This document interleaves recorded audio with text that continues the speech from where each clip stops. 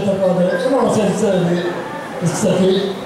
ご協をお願いいたします。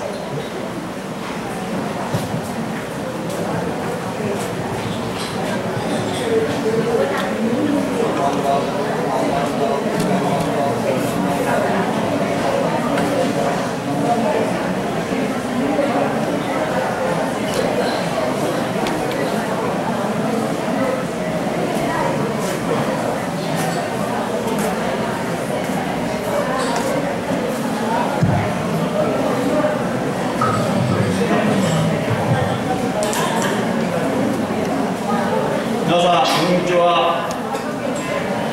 今日は、ダラセーナ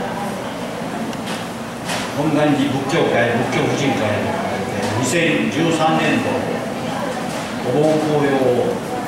大丸本州をわれていただきまして、今日は、予算と主観、突版主観、私の先生であった梶原真理先生のおいでになりまして法案塾となりますと先生の方から日本語と法語でなされますので私はただ皆様方にご挨拶だけ申し上げますでまあお盆と言いますと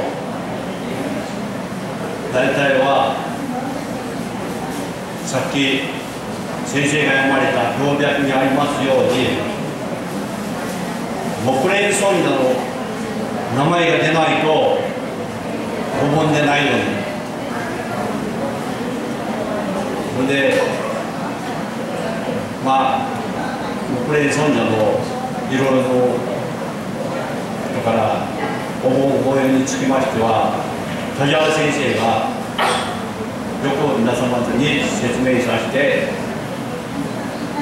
日本語と法語で説明させていただきますので皆さん方、えー、ごゆっくりお楽しみで、え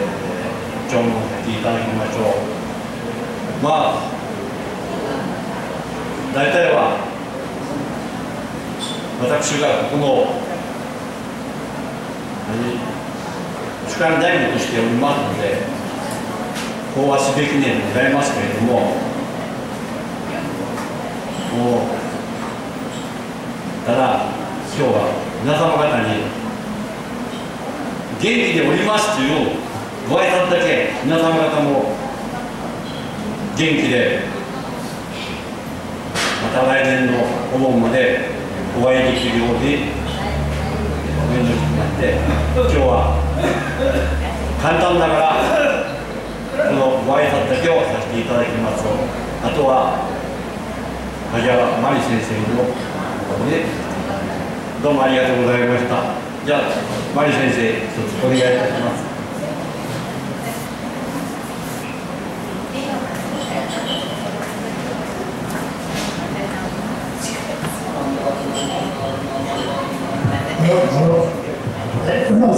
ありがとうございました。